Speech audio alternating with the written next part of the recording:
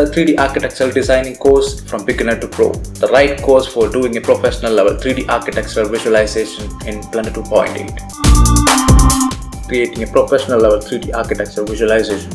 How to import an AutoCAD file from AutoCAD. Syncing the units in AutoCAD as well as Blender 2.8 creating the model using the different uh, modeling techniques and add-ons which are available in Blender 2.8. How to do a detailed texturing, giving a beautiful landscape for this and make the professional level 3D output from Blender 2.8 to impress your clients to the great extent.